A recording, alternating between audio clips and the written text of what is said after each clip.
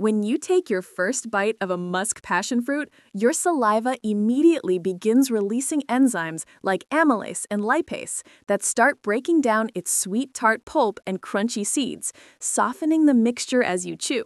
Your tongue then pushes this fragrant, juicy mash toward your throat, guiding it into the esophagus, where gentle peristaltic waves carrying it smoothly into your stomach. There, strong stomach acid and digestive enzymes dissolve the fruit's fiber, vitamins, minerals, and antioxidant rich compounds, transforming everything into a nutrient dense chyme.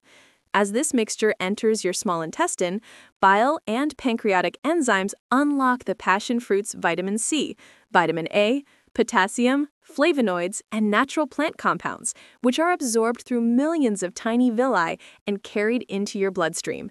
These nutrients travel to your heart, skin, brain, and immune cells, helping reduce inflammation, improve circulation.